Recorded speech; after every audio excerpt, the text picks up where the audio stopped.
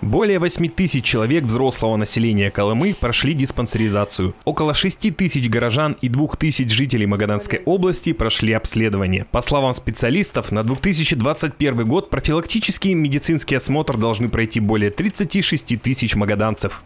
Диспансеризация, она усилена э, скрининговыми мероприятиями в, рамк, в рамках выявления онкозаболеваний еще, и поэтому там более развернутый объем обследований.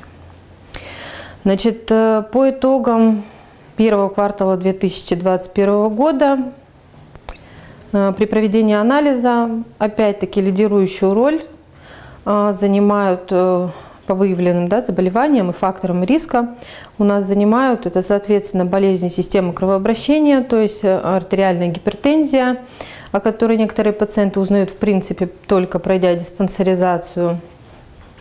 Значит, также у нас выявляются в основном эндокринные патологии, это второе место, да, сахарные диабеты, гипергликемии, которых очень много, которых тоже пациенты узнают, в принципе, пройдя диспансеризацию.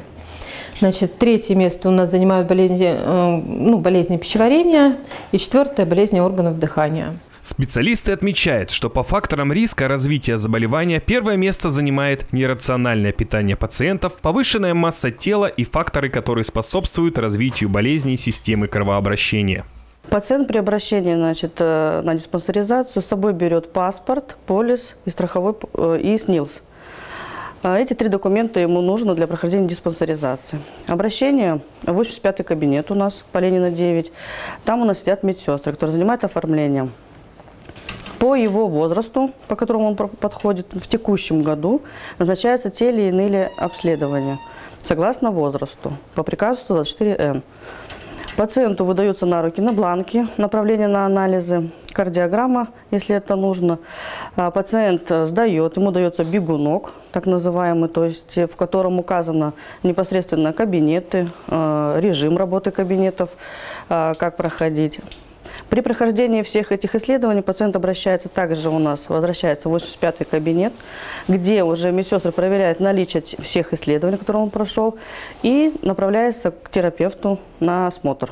Обследоваться пациент может за два посещения. Первый этап – прохождение исследования. Второй – беседа пациента с врачом, получение рекомендаций. Увеличить срок прохождения диспансеризации может только подготовка анализов у врачей гинекологов и цитологического исследования. Снимок маммографии также готовится несколько дней, что увеличивает срок прохождения медицинского обследования.